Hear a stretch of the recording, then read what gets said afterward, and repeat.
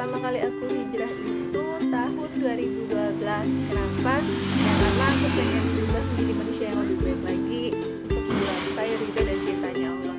Nah terus kenapa sih aku bikin film islami bareng nah, teman-teman production nah kalau itu nanti jawabannya kita bakal sharing aja yuk di acara seminar kemuslimahan yang diadakan oleh Universitas Lampung.